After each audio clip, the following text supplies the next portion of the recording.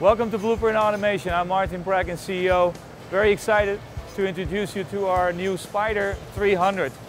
The Spider 300 was developed to be able to load a wide variety of pouches into a wide variety of styles of cases in as many pack patterns as possible.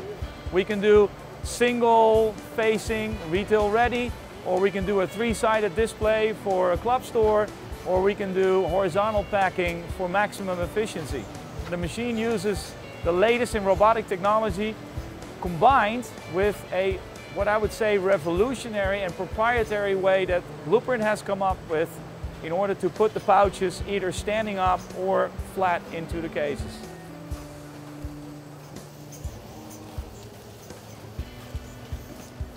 So come talk to us about your needs for flexibility.